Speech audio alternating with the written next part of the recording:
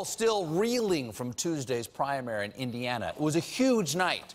Two people were knocked out of the race, and one was just knocked out. but there was, she's fine. But there's one candidate who remains standing Bernie Sanders. Bernie. Bernie scored a huge upset victory that raised his campaign from the grave, which explains why he has the same hair as an extra on The Walking Dead. and yes, and yes, the delegate math does look terrible for Bernie, but he's not going anywhere. Do we have your word in this interview that you're not going to drop out before the Democratic convention? Absolutely. We have made that commitment. I'm going to be in it until the last vote is cast.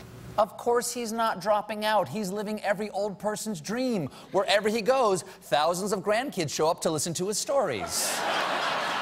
and I, for one, yes, I'm happy for Bernie. He's always been a great friend of this show, whether as a guest or as a temp worker operating our t-shirt cannon. I'm happy to say we paid him $15 an hour for about 30 seconds. And Bernie staying in the election means I can run my favorite thing we've ever done with him one more time a video game we call Bubble Burst Bernie.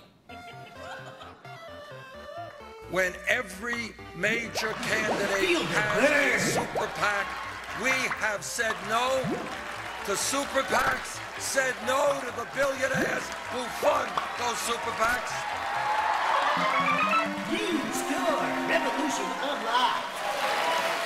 Is really is fantastic, isn't it? It's really entertaining and doesn't require any political experience, just like being the GOP nominee.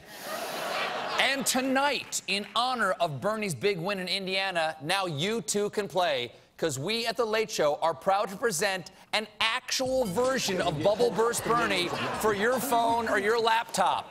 Just go to cbs.com slash Bernie game and you can control Bernie Sanders. So billionaires are not allowed to play. Go on there and see if you can beat the high score. Of course, thanks to Hillary Clinton's superdelegates, you never can.